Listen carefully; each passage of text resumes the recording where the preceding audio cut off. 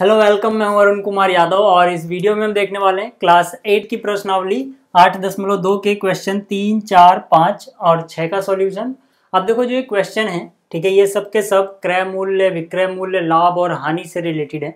तो सबसे पहले हम समझेंगे कि क्रय मूल्य क्या होता है, विक्रय मूल्य क्या होता है, ठीक है? कब लाभ होता है, कब हानि होती है, हानि प्रतिशत, लाभ प्रतिशत कैसे निकालते हैं? तो पहले हम इन सब बातों को सीखेंगे। उसके बाद में जो ये प्रश्न है इनको शुरू करूँगा, ठीक है? तो देखो, सबसे पहले सीखते हैं कि भाई क्रय मूल्य का क्या मतलब है। तो यहाँ पे मैंने लिखा है, वह मूल्य जिस पर कोई वस्तु खरीदी जाए, ठीक है? मतलब कि जिस कीमत पे आप किसी वस्तु को खरीदते हो, वो उस वस्तु का क्रय मूल्य हो जाता है। जैसे कि मान लीजिए आपने एक किताब खरीदी, ठीक है? और किताब थी तीस रुपए की तो तीस रुपए क्या हो गया? उसका क्रय मूल्य हो गया।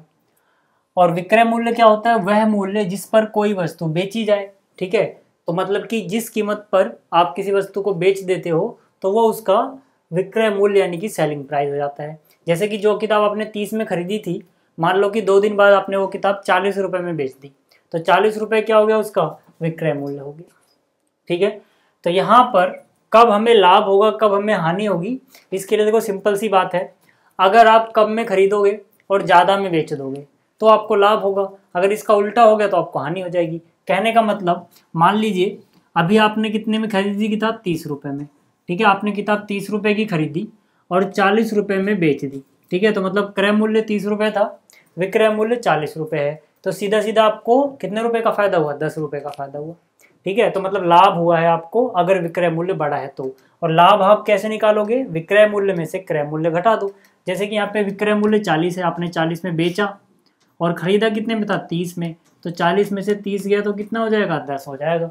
इसका मतलब क्या हो गया? कि आपको दस रुपये का लाभ हुआ है। ठीक है तो आपको ये समझ में आ गया कि लाभ हमें कब होता है? जब हम कम में खरीद रहे हैं और ज़्यादा में बेच रहे हैं। कहने का मतलब है विक्रय मूल्य बड़ा है क्रय मूल्य से। ठीक है, जिसकी तरफ़ चोंच होती है वो छोटा, जिसकी तरफ़ मुँह खुला होता है वो बड़ा। इसी तरह से अगर मान लो क्रय मूल्य बड़ा हो गया और विक्रय मूल्य छोटा हो गया, यानी कि आपने ज़्यादा में खरीदा और कम में बेच दिया, तब आपको हानि हो जाएगी यानी नुकसान हो जाएगा। और कितनी हानि हुई आप कैसे निकालोगे? जो क्रय मूल्य है, उसमें से विक्रय मूल्य घटाओगे।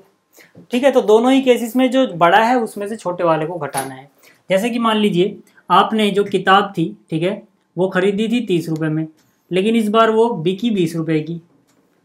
तो इस बार आपको दस रुपये की हानि हो गई, नुकसान हो गया, ठीक है ना? क्योंकि आपने खरीदी तो तीस रुपये में थी, लेकिन बेची आपने बीस रुपये में। ठीक है तो हानि कैसे निकालोगे? इस बार आपको क्रय मूल्य में से विक्रय मूल्य घटाना पड़ेगा। तो क्रय मूल्य इस बार कितना है? तीस। और विक्रय मूल्य कितना है? बीस। तो तीस में से बीस गया, कितना बचा? दस। यानी दस रुपये का आपको नुकसान हो गया, हानि हो गई। ठीक? तो आपको ये समझ में आ गया कि कब हमें हानि, कब हमें लाभ होगा और हानि और लाभ कैसे निकालेंगे।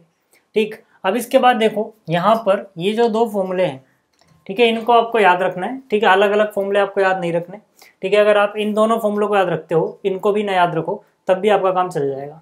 ठीक है? क्योंकि इन तीनों चीज़ों में से कोई सी, ठीक है, दो चीज़ें आपको दी होंगी और एक आप आसानी से फिर फाइंड कर लोगे।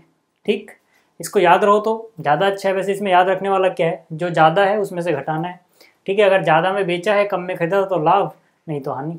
ठीक? तो यहाँ पर देखो, विक्रय मूल्य क्या होता है? क्रय मूल्य में लाभ जोड़ दो। ठीक है? विक्रय मूल्य क्या होता है? क्रय मूल्य में लाभ जोड़ दो। जैसे कि आपने कोई चीज़ मान लो पाँच रुपये की खरीदी और जब आपने उस वस्तु को बेचा, खरीदने के बाद जब आपने उसको बेचा तो आपको फ़ायदा हुआ था दो रुपए का। तो आपने कितने में बेचा होगा कि आपको दो का फ़ायदा हो? ज़ाहिर सी बात है सात रुपए में। ठीक है, अगर आपने कोई चीज़ पाँच रुपए की खरीदी थी और लाभ आपको दो रुपए हुआ तो आपने बेचा कितने में होगा? सात रुपए में। तो कहने का मतलब है उसका विक्रय मूल्य कितना हो गया? सात। ठीक है तो विक्रय मूल्य अगर निकालना है तो क्रय मूल्य में लाभ जोड़ना पड़ेगा। और अगर हानि हुई है तो हानि को घटाना पड़ेगा। जैसे कि, मान लीजिए, आपने कोई चीज़, आपने कोई चीज़ बारह रुपये की खरीदी थी, ठीक है? बारह रुपये की खरीदी थी और आपको मान लीजिए दो रुपये की हानि हो गई, ठीक है? तो आपने बेची कितने में होगी? दस में। भाई, बारह में खरीदोगे, दो रुपये के नुकसान पे बेचोगे तो ज़ाहिर सी बात है दस रुपये में बेची होगी। तो बारह में से दस घट, दो घटाओ, कितना बचेगा? दस। तो मतलब कि विक्रय मूल्य अगर हानि दी गई है तो क्रय मूल्य में से हानि को घटा के आता है, ठीक? तो यहाँ से आपको ये बातें पता होनी चाहिए, ठीक है? बहुत बेसिक सी बातें, ठीक है? याद रखना ही बहुत आसान है। हमेशा याद रखना, जोड़ना या घटाना किसमें से क्रय मूल्य में से। लाभ हुआ है तो क्रय मूल्य में जोड़ दो, और हानि हुई है तो क्रय मूल्य में घटा दो। विक्रय मूल्य आ जाएगा, ठीक? तो क्रय मूल्य और विक्रय मूल्य अगर आपको समझ में आ गए हैं, ये फॉर्मूला अगर आपको समझ में आ गया है, ठीक है? इन दोनों को याद रखना, बहुत काम आएँगे हमारे। अब बात करते हैं इनके प्रतिशत की। देखो, अगर जिस भी चीज़ का प्रतिशत निकालना है, वो ऊपर आएगा। और नीचे हमेशा क्रय मूल्य आता है। याद रखना, नीचे हमेशा क्या आता है? क्रय मूल्य। प्रतिशत जो है, हमेशा क्रय मूल्य पे निकाला जाता है। ये बहुत इंपॉर्टेंट लाइन है जो मैंने अभी बोली, कि जो प्रतिशत हम निकालेंगे, हमेशा क्रय मूल्य पे निकालेंगे। मतलब नीचे क्या आएगा? हमेशा क्रय मूल्य आएगा। अगर आप लाभ का प्रतिशत निकाल रहे हो तो ऊपर लाभ लिखो, नीचे क्रय मूल्य लिखो, गुणा कर दो सौ से। अगर आप हानि का प्रतिशत निकाल रहे हो तो ऊपर हानि लिखो, नीचे अभी भी क्रय मूल्य ही रहेगा, गुणा कर दो सौ से। ठीक है? तो हमेशा याद रखना, लाभ या हानि प्रतिशत हमेशा किस पे निकाला जाता है? क्रय मूल्य पे निकाला जाता है। ठीक है? ये लाइन आप याद रखना, जब मैं क्वेश्चन कराऊँगा तो इसका बहुत ज़्यादा यूज़ होगा। तो अब बात करते हैं, जो प्रश्न तीन है। ठीक है? प्रश्न दो तक हम कर चुके हैं। देखो, जो प्रश्न तीन है, पहले इसको समझो। इसमें क्या बोला गया है? फिर इसके सॉल्यूशन की बात करेंगे। देखो, क्या बोला गया प्रश्न तीन में? एक दुकानदार रुपए चौबीस सौ में अस्सी वस्तुएँ खरीदता है और उन्हें सोलह प्रतिशत लाभ पर बेचता है। एक वस्तु का विक्रय मूल्य, ठीक है ना? एक वस्तु का विक्रय मूल्य ज्ञात कीजिए, ठीक है? तो यहाँ पर देखो, सबसे पहली बात, चौबीस सौ रुपए जो है वो क्या हो जाएगा? क्रय मूल्य हो जाएगा, क्योंकि इतने पे उसने खरीदा है। लेकिन ये कितनी वस्तुओं का क्रय मूल्य हुआ? अस्सी वस्तुओं का, क्योंकि उसने इतने में अस्सी चीज़ों को खरीदा है। ठीक है? और लाभ हुआ उसे सोलह प्रतिशत का। अब यहाँ पर हमसे जो पूछा गया है, वो विक्रय मूल्य है, लेकिन जो ये विक्रय मूल्य है, सभी वस्तुओं का नहीं पूछा गया। ये सिर्फ़ एक वस्तु का पूछा गया है, यानी कि विक्रय मूल्य तो एक का पूछा गया, लेकिन क्रय मूल्य अस्सी का बताया गया है। तो पहले एक का निकालते हैं। ठीक है? तो मैंने यहाँ पे लिखा, मैंने यहाँ पे लिखा एक वस्तु का, ठीक है? मैं यहाँ पे लिखूँगा एक वस्तु का क्रय मूल्य। पहले एक का निकाल लो, ठीक है? एक वस्तु का क्रय मूल्य, ठीक है? देखो, अस्सी वस्तुओं का कितना है? चौबीस। सौ तो चौबीस सौ को अगर अस्सी से भाग कर दो, ठीक है? चौबीस सौ के अस्सी टुकड़े कर दो, ठीक है? तो जो एक टुकड़ा आएगा वो एक वस्तु का होगा, क्योंकि चौबीस सौ जो था वो अस्सी चीज़ों का था। तो हम एक का निकाल रहे हैं। तो अस्सी से भाग करना पड़ेगा। ठीक है ना? यहाँ से आप याद रखना। तो यहाँ से एक ज़ीरो से एक ज़ीरो कट गया। आठ से काटोगे, आठ तिया, चौबीस, एक ज़ीरो बचा है तो एक ज़ीरो लगा दो। कहने का मतलब क्या हुआ? कहने का मतलब हुआ कि एक वस्तु का क्रय मूल्य आ गया तीस रुपए। जो चौबीस सौ था वो अस्सी वस्तुओं का था। हमसे एक का पूछा गया तो हम क्रय मूल्य भी एक का ही निकालेंगे पहले। ठीक है? अब इसके बाद देखो, लाभ तो प्रतिशत में है। लाभ कितना है? लाभ है सोलह प्रतिशत। ठीक है, सोलह प्रतिशत। मैंने थोड़ी देर पहले आपको क्या बताया था कि हानि का प्रतिशत या लाभ का प्रतिशत हमेशा क्रय मूल्य पे निकाला जाता है, ठीक है? तो मतलब जो लाभ होगा, सोलह प्रतिशत, ये किसका सोलह प्रतिशत है? ये 16 प्रतिशत है वस्तु के क्रय मूल्य का, ठीक है ना? क्योंकि प्रतिशत हमेशा क्रय मूल्य पे निकाला जाता है। और अगर मैं बोलूँ कि एक वस्तु पे लाभ, ठीक है ना? एक वस्तु पर लाभ। ठीक है, अगर एक पे बोलेंगे तो एक वस्तु के क्रय मूल्य का 16 प्रतिशत। सभी वस्तुओं का बोलते यानी अस्सी के अस्सी का तो अस्सी के अस्सी, यानी कि जो चौबीस सौ था उसका सोलह प्रतिशत निकालते लेकिन हम एक वस्तु पर लाभ निकाल रहे हैं तो एक वस्तु का क्रय मूल्य कितना है? तीस। तो मतलब इस तीस का सोलह प्रतिशत। ठीक है कॉन्सेप्ट को जरा ध्यान से समझना कि अगर हम एक वस्तु पर लाभ निकाल रहे हैं तो क्रय मूल्य भी एक वस्तु का लेंगे। तीस रुपए। अगर हम सभी वस्तुओं पे लाभ टोटल लाभ निकालते तो हम टोटल अस्सी वस्तुओं का क्रय मूल्य लेते। लेकिन यहाँ पे एक की बात कर रहा हूँ मैं, ठीक है? तो ये एक वाला आएगा। ठीक, चलो फिर आगे चलते हैं। यहाँ पर हो गया तीस। कागे जहाँ गुणा लगाओ। प्रतिशत का निशान हटाना है तो सोलह बटे सौ लिख ठीक है? तो यहाँ से एक ज़ीरो से एक ज़ीरो गया। ठीक है? कितना हो गया? सोलह गुणा तीन। कितना होता है? अड़तालीस। और बटे में कितना है दस? अड़तालीस को दस से भाग दोगे तो कितना आ जाएगा? यह आ जाएगा चार दशमलव आठ। ठीक है ना? नीचे एक ज़ीरो है तो इधर से एक के बाद पॉइंट लगा देते हैं। ठीक है? सिंपल सा तरीका है। तो एक डिजिट छोड़ो आठ और पॉइंट लगा दो।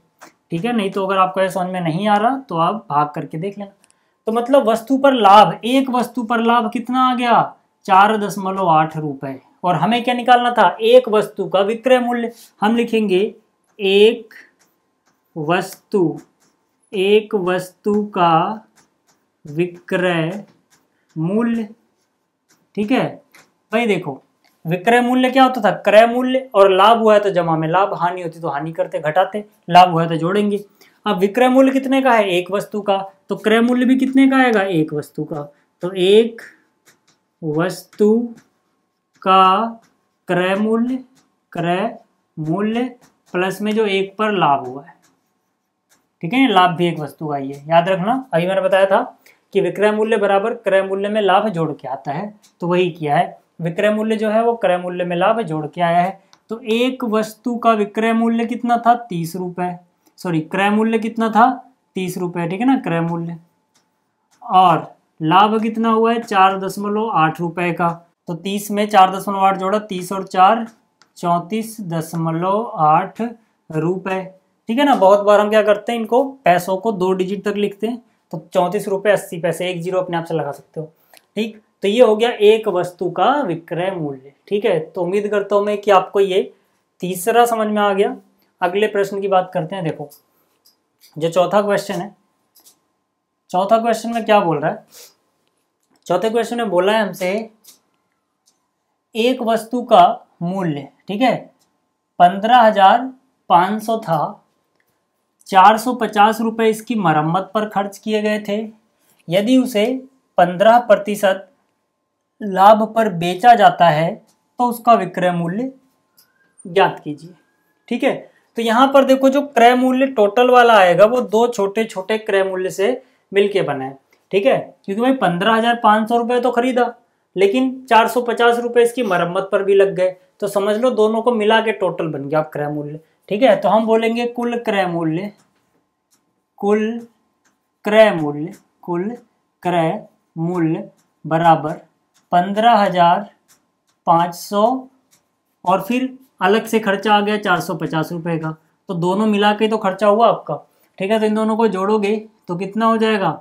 इन दोनों को जोड़ेंगे तो हो जाएगा पंद्रह हज़ार नौ सौ पचास रुपये ठीक है, इसको ऐसे समझो। जैसे कि मान लो आपने एक साइकिल खरीदी, ठीक है, एक हज़ार रुपये की, लेकिन साइकिल ख़राब थी तो आपके तीन सौ और लग गए उसे ठीक कराने में।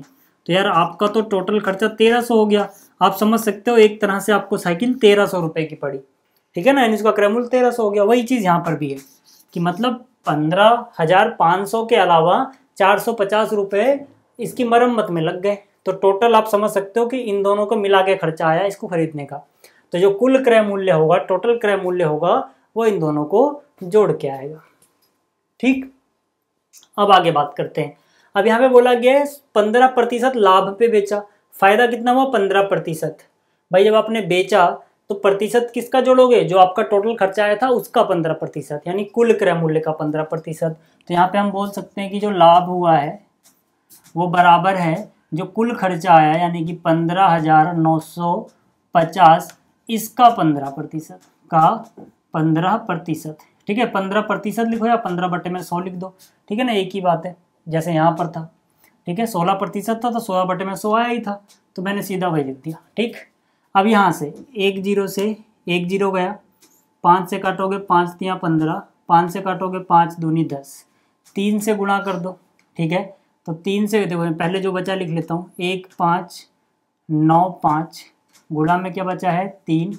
बटे में कितना है? दो। तो तीन को पाँच से गुणा करोगे, तीन पंजे पंद्रह का पाँच, हासिल गया एक। तीन को नौ से करोगे, तीन नीम सत्ताईस और एक अट्ठाईस का आठ, हासिल गया दो। फिर तीन को पाँच से करोगे, तीन पंजे पंद्रह और जो अट्ठाईस में दो हासिल गया था, पंद्रह और दो सत्रह का सात, हासिल गया एक। तीन एकम तीन और एक चार। ठीक है? और नीचे कितना बचा हुआ है? नीचे बचा हुआ है दो। ठीक है? दो से इसको भाग दे दो यार। ठीक है? दो का पहाड़ा चार में गया, दो दूनी चार। फिर दो का पहाड़ा सात में, दो तिया छः सात में से छः कट गया, एक बचा एक, क्या गया? आठ, अट्ठारह। दो का पहाड़ा नौ, बारह, अट्ठारह। पाँच में दो दूनी चार। एक बचा होगा, पॉइंट लगाओ, ज़ीरो। दो पंजे दस आ गया। ठीक है, अगर आपको ऐसे समझ में नहीं आया तो आप ऐसे कर लेना। चार, सात, आठ, पाँच है, दो से भाग दे देना। दो से भाग दोगे तो आपको इतना ही मिलेगा, ठीक है ना? तब ये आ जाओ यहाँ पर। हमें लाभ पता लग गया दो हज़ार तीन सौ बानवे दशमलव पाँच ठीक? अब हमें क्या निकालना था? हमें विक्रय मूल्य निकालना था। तो हम निकालेंगे यहाँ पर विक्रय मूल्य। ठीक है? विक्रय मूल्य क्या होता है? अभी मैंने आपको बताया था। विक्रय मूल्य होता है क्रय मूल्य। लाभ हुआ है तो जोड़ दो, हानि हुई तो घटा दो। तो यहाँ पे तो लाभ हुआ है। ठीक है ना? अब बताओ, क्रय मूल्य कितना था इसका? टोटल, ठीक है ना? क्रय मूल्य, जो टोटल खर्चा आया था, पंद्रह हज़ार नौ सौ पचास रुपये और लाभ कितने का हो गया? दो हज़ार तीन सौ बानवे दशमलव पाँच रुपये का। इनको जोड़ लो, ठीक है, रफ में। तो एक, पाँच, नौ, पाँच, ज़ीरो। अगले में क्या है? दो, तीन, नौ, दो, दशमलव पाँच। अब यहाँ पे दशमलव नहीं है तो यहाँ पे दशमलव के बाद ज़ीरो लगा दो, ठीक है? दशमलव के बाद ज़ीरो लगा दो। तो यहाँ से हो जाएगा पाँच, दो, नौ और पाँच, चौदह का चार, हासिल गया एक, नौ और एक, दस और तीन, तेरह। हासिल गया एक, पाँच और एक, छः और दो, आठ और एक। ठीक है? तो अट्ठारह हज़ार तीन सौ बयालीस, अट्ठारह हज़ार तीन सौ बयालीस दशमलव पाँच रुपये ठीक है? इतना पड़ा विक्रय मूल्य। ठीक है? इतने में बेचा गया होगा ठीक है? तो आपको ये चौथा प्रश्न भी समझ में आ गया होगा। पांचवे की बात करते हैं। आप देखो, जो पांचवा क्वेश्चन है, इसमें हमसे बोला गया है, एक वीसीआर और टीवी में से प्रत्येक को आठ हज़ार रुपये में खरीदा गया। दुकानदार को वीसीआर पर चार प्रतिशत हानि और टीवी पर आठ प्रतिशत लाभ हुआ। इस पूरे लेन देन में लाभ अथवा हानि प्रतिशत ज्ञात कीजिए। ठीक है मतलब क्या है, दुकानदार दो चीज़ें खरीदता है। दोनों में से प्रत्येक की कीमत आठ हज़ार है। मतलब कि आठ हज़ार है वीसीआर की कीमत और आठ हज़ार है टीवी की कीमत। मतलब टोटल मिला के उसने सोलह हज़ार में खरीदा होगा, आठ हज़ार इसका, आठ हज़ार उसका। दुकानदार को वीसीआर पर चार प्रतिशत की हानि हो गई, लेकिन टीवी पर उसे, जब टीवी उसने बेचा तो उसे आठ प्रतिशत का लाभ हो गया। हमें बताना है कुल मिला के उसे क्या हुआ, और उसका प्रतिशत भी निकालना है। तो यहाँ पर देखो, ठीक है, इसको हम कैसे करेंगे? यहाँ पर मैंने लिखा, यहाँ पर मैंने लिखा वीसीआर का क्रय मूल्य वीसीआर का क्रय मूल्य। वीसीआर उसने कितने में खरीदा? आठ हज़ार में। ठीक है, आठ हज़ार रुपये इसी तरह से टीवी का क्रय मूल्य टीवी का क्रय मूल्य, प्रत्येक की कीमत आठ हज़ार है तो टीवी का भी क्रय मूल्य कितना हो जाएगा? आठ हज़ार रुपये ठीक तो यहाँ से मैं बोल सकता हूँ कुल क्रय मूल्य कितना हुआ? कुल का मतलब दोनों को मिला के। ठीक है, कुल क्रय मूल्य। तो कुल क्रय मूल्य हो गया आठ हज़ार जमा आठ हज़ार, यानी सोलह हज़ार। ठीक है ना, आठ हज़ार जमा में आठ हज़ार। यानी कि सोलह हज़ार रुपये उसने टोटल खर्चा किया दोनों चीज़ों को खरीदने में। ठीक? तो यहाँ से इतना आपको समझ में आ गया होगा। अब आगे बात करते हैं। देखो, अब यहाँ पर पहले बात करते हैं वी पे हानि कितनी हुई। वी पे हानि हुई चार प्रतिशत। तो यहाँ पे हम लिखेंगे वी पर हानि वीसीआर पर हानि। ठीक? हानि अथवा लाभ किस पे निकाला जाता है इनका प्रतिशत? क्रय मूल्य पे। तो यहाँ पे हानि निकाल रहे हैं वीसीआर की तो वीसीआर का क्रय मूल्य जितना होगा, उसका चार प्रतिशत हानि हुई है। और वीसीआर का क्रय मूल्य आठ हज़ार रुपये है। दोनों का ही घर आठ हज़ार है। तो इसकी हानि हो जाएगी आठ हज़ार का चार प्रतिशत। ठीक है, अब चार प्रतिशत लिखो या चार बटे में सौ लिख दो, एक ही बात है। तो यहाँ से दो ज़ीरो से दो ज़ीरो कट गया। चार को इस आठ से गुणा करो, चार अट्ठे बत्तीस होता है। और यहाँ पे एक ज़ीरो बचा था तो एक ज़ीरो लगाओगे। यानी कि तीन सौ बीस रुपए की तो हानि हो गई। किस पर? वीसीआर पे। तो वीसीआर का विक्रय मूल्य कितना हो जाएगा? वीसीआर का विक्रय मूल्य। देखो, हम विक्रय मूल्य कैसे निकालते हैं? अभी मैंने आपको बताया था। विक्रय मूल्य के लिए हम क्रय मूल्य में अगर लाभ हुआ है तो लाभ जोड़ देते हैं। हानि हुई तो हानि घटा देते हैं। यहाँ पे हानि हुई है। ठीक है? तो देखो, क्रय मूल्य कितना है? आठ हज़ार। ठीक है ना? क्रय मूल्य कितना है? आठ हज़ार। इसमें हम हानि हुई है तो घटा देंगे। लाभ होता तो जोड़ते। यहाँ पे क्या हो रही है? यहाँ पे हो रही है हानि। कितने रुपए की? तीन सौ बीस की। तो तीन सौ बीस को क्या करेंगे? माइनस कर देंगे। ठीक है? तो आठ हज़ार में से तीन सौ बीस घटा दो। ज़ीरो में से ज़ीरो गया ज़ीरो। दस में से दो गया आठ। एक हासिल लिया होगा। यहाँ बचा नौ में से तीन गया छः और एक हासिल देने पे सात। यानी कि सात हज़ार छः सौ अस्सी रुपये में बेचा होगा। भाई ख़रीदा आठ हज़ार का था। कम में बेच रहा है, इसका मतलब नुकसान हुआ होगा ना। मतलब हमने सही किया है। अब आगे आ जाओ। ये तो कहानी थी वीसीआर की। ठीक? इसी तरह से टीवी की बात करते हैं। टीवी पर लाभ। टीवी पर लाभ। टीवी पे क्या हुआ उसे? लाभ हुआ है। कितने प्रतिशत का लाभ हुआ है टीवी पे? आठ प्रतिशत का लाभ हुआ है। ये आठ प्रतिशत किसका होगा? क्रय मूल्य का। क्यों? क्योंकि लाभ या हानि प्रतिशत क्रय मूल्य पे ही निकाला जाता है। तो क्रय मूल्य इसका भी आठ हज़ार रुपये टीवी का क्रय मूल्य कितना? आठ हज़ार। तो हम बोलेंगे ये हो जाएगा आठ हज़ार का। कितने प्रतिशत? आठ प्रतिशत। ठीक है? आठ हज़ार का आठ प्रतिशत आप ऐसे ही बता सकते हो। देखो यार, आठ हज़ार का चार प्रतिशत तीन सौ बीस है। तो चार प्रतिशत का डबल ही तो है आठ प्रतिशत। तो 320 का डबल कितना हो जाएगा? 640 आप ऐसे भी सोच सकते हो। नहीं तो आपको सॉल्व करना है तो सॉल्व कर लो यार। ठीक है? दो ज़ीरो से दो ज़ीरो गया। आठ गुणा आठ चौंसठ होता है और एक ज़ीरो तो एक ज़ीरो यानी छः सौ चालीस रुपये। ठीक है ना? बाकी आप ऐसे भी सोच सकते थे डायरेक्ट तो टीवी पर लाभ कितना हो गया? छः सौ चालीस रुपये। अब बताओ कि भाई उसका विक्रय मूल्य कितना होगा? तो टीवी का विक्रय मूल्य। ठीक है? टीवी का विक्रय मूल्य। तो टीवी खरीदी कितने में थी? यानी क्रय मूल्य कितना था? आठ हज़ार रुपये। इस बार उसे क्या हुआ? है लाभ। तो लाभ को जोड़ते हैं भाई। क्रय मूल्य में लाभ जोड़ोगे ना? और लाभ कितने का हुआ है? लाभ हुआ है छः सौ चालीस रुपये का। फिर से याद रखो, ये टीवी का क्रय मूल्य है, ये लाभ है। आप चाहो तो लिख लेना, मेरे पास जगह कम है, इसलिए मैं लिख नहीं रहा। नहीं तो ऐसे लिखना चाहिए वैसे, क्रय मूल्य में लाभ जोड़ रहे हैं, क्रय मूल्य प्लस में लाभ, ऐसा करके। ठीक है, बट अभी जगह कम है तो मैं नहीं लिख रहा। चलो अब, आठ हज़ार में छः सौ चालीस जोड़ दिया, कितना हो गया? आठ हज़ार छः सौ चालीस। ठीक है, रुपए। अब जरा ध्यान से देखो। अब अगर मैं बताऊँ कि भाई कुल दोनों को मिला के, कुल विक्रय मूल्य कितना आया? कुल विक्रय मूल्य, कुल का मतलब दोनों को मिला के। तो यहाँ पर आ जाओ वी का विक्रय मूल्य कितना है? सात हज़ार छः सौ चालीस। और टीवी का विक्रय मूल्य कितना है? आठ हज़ार छः सौ चालीस। तो ठीक है, सात हज़ार छः सौ अस्सी और आठ हज़ार छः सौ चालीस। तो दोनों को जोड़ दो यार। ठीक है टोटल विक्रय मूल्य आ जाएगा।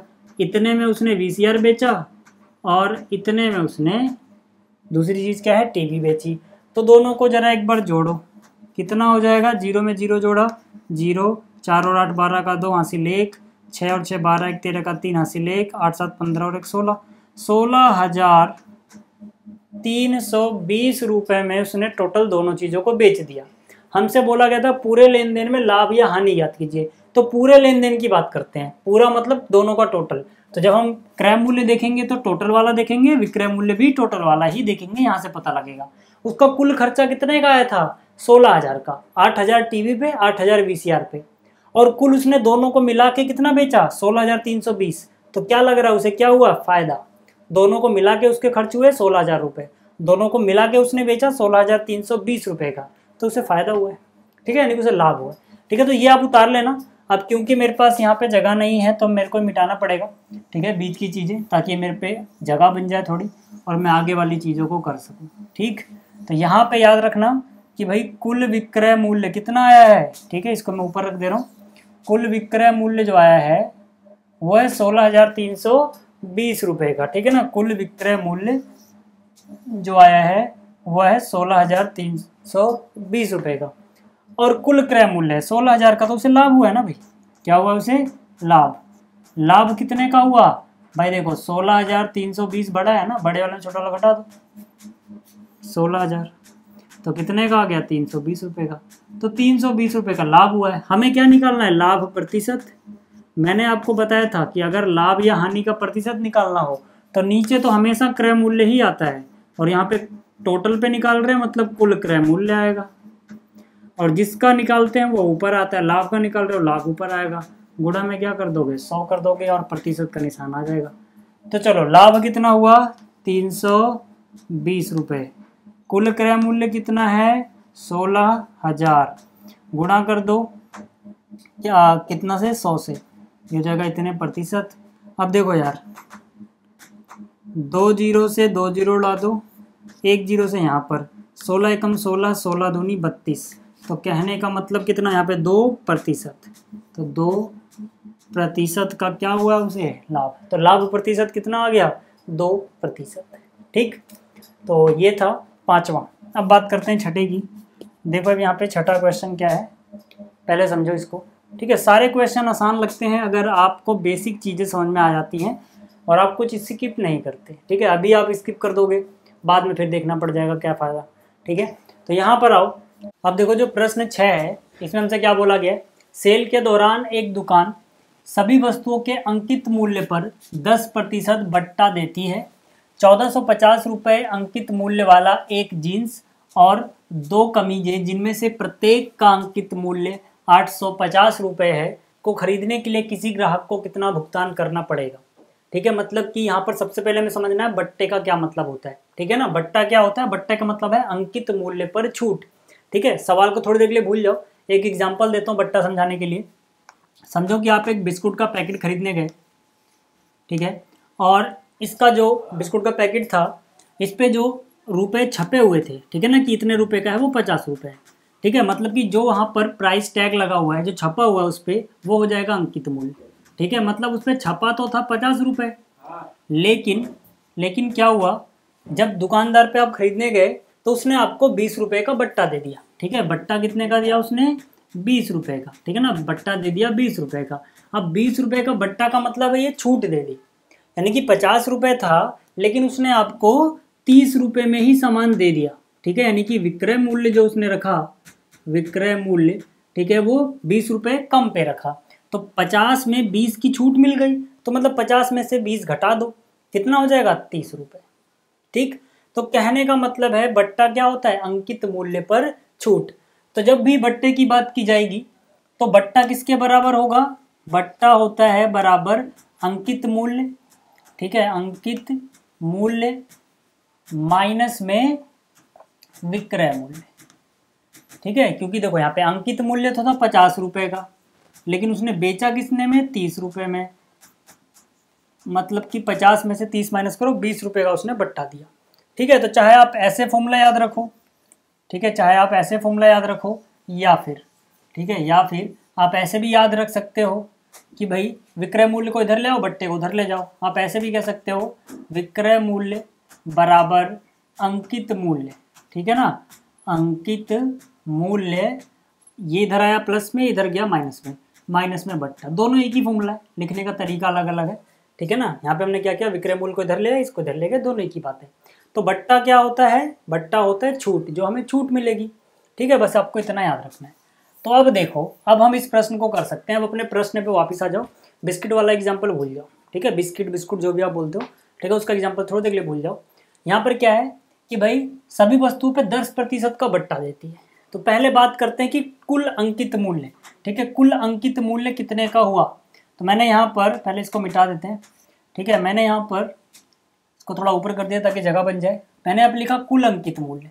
कुल का मतलब सब मिला के कुल अंकित मूल्य।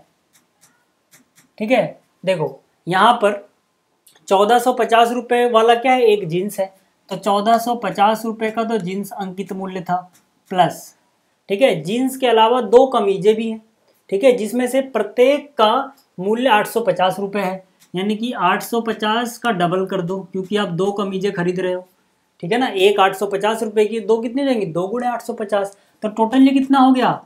चौदह सौ पचास जमा में आठ सौ पचास का डबल सत्रह सौ हो गया। आठ दूनी सोलह सौ और पचास पचास सौ सत्रह सौ। तो इन सबको जोड़ दो यार। ठीक है? एक ज़ीरो में एक ज़ीरो जोड़ा, एक ज़ीरो में पाँच जोड़ा, सात में चार जोड़ा, ग्यारह हासिल एक एक दो। ठीक है? एक और एक दो हासिल तीन। तो तीन हज़ार एक सौ पचास रुपये टोटल अंकित मूल्य के बराबर हो गया। ठीक है?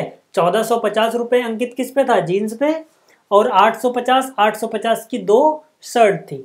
ठीक है? दोनों कमीज थी। ठीक है? शर्ट, कमीज वही हो गया। तो मतलब दोनों मिला के, ठीक है? दो ये और एक ये। इतने रुपए का कुल अंकित मूल्य आया। और बट्टा जो है, ठीक है? बट्टा देखो, याद रखना, बट्टे का जो प्रतिशत निकाला जाता है, ये अंकित मूल्य पे निकाला जाता है। ठीक है? बट्टे का प्रतिशत किस पे निकाला जाता है? अंकित मूल्य पे, ये बात आप याद रखना। तो बट्टा है दस प्रतिशत और अंकित मूल्य, ठीक है? हम यहाँ पे कुल बट्टे की बात कर रहे हैं, ठीक है? कुल बट्टा। तो कुल बट्टा किस पे निकाला जाएगा? कुल अंकित मूल्य पे। कुल अंकित मूल्य कितना है? तीन हज़ार एक सौ पचास। इसका छूट कितनी मिलेगी? दस प्रतिशत की। भाई, सिंपल सी बात है, दस प्रतिशत का बट्टा है मतलब जो भी टोटल अंकित मूल्य आया, दुकान पे वो दस प्रतिशत कम हो जाएगा, ठीक है ना? तो कुल बट्टा दस प्रतिशत दस प्रतिशत क्या मतलब है? प्रतिशत का निशान हटाओगे तो नीचे ये लग जाएगा, एक ज़ीरो से ये गया, एक से ये गया। कितना बचा? तीन सौ पंद्रह गुणा एक, यानी कि तीन सौ पंद्रह। यानी कि तीन सौ पंद्रह की छूट मिल गई।